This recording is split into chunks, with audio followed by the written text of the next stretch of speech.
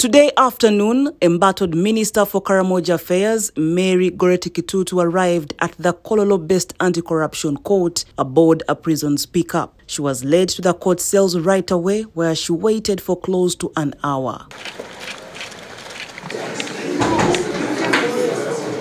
As the proceedings kicked off, presiding Chief Magistrate Joan Achiro delivered her ruling in the bail application filed by the minister through her lawyers. She concurred with the defense lawyers that there was no proof that the minister would interfere with the ongoing investigation as raised by the state. This application is an oral one, which is permissible in magistrates' courts, and the reply to the same is also oral.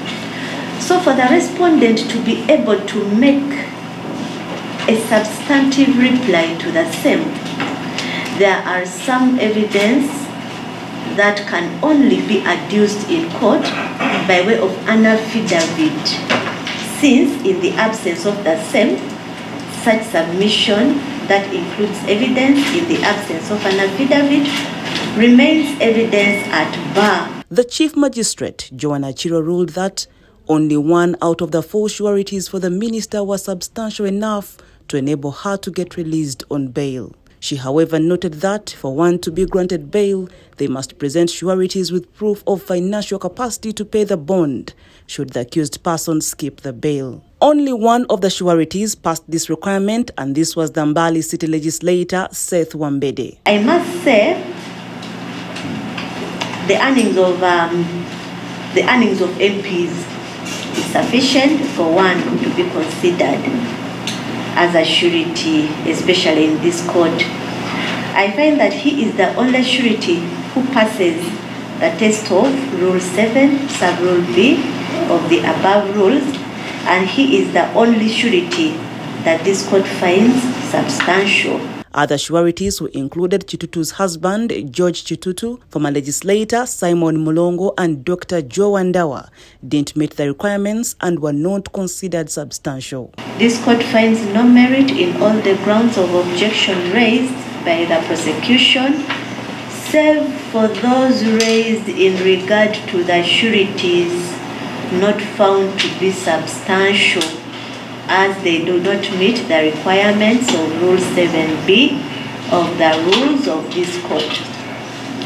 Much as this court finds that surety theory is substantial, this court declines to grant the applicant bail. In response to the ruling, John Musime, one of Kitutu's lawyers, asked for court to allow them bring more sureties. This was not protested by the state, and the presiding magistrate set Friday 14th April for this to take place. The two additional witnesses tomorrow. Sureties, I mean. Tomorrow. The defense team applied bail for Kitutu's co-accused and relative Michael Namboya Kitutu. They presented three sureties in support of the application. However, Senior State Attorney Jonathan Muwaganya objected to the application presenting several grounds as to why the accused person shouldn't be released on bail. His bail ruling has been fixed for 27th April. I wish to present an application for bail on behalf of A3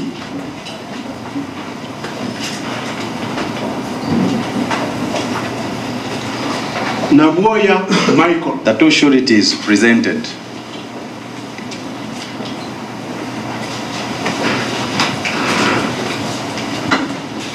in our opinion, do not satisfy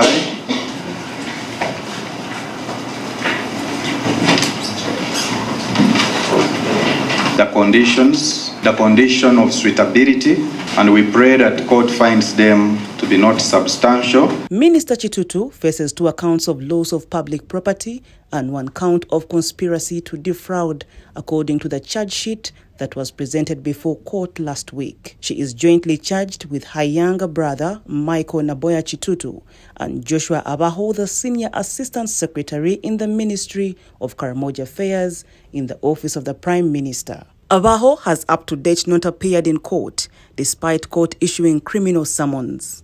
His lawyers told court that he didn't receive the said summons, besides, he's taking care of his ailing wife.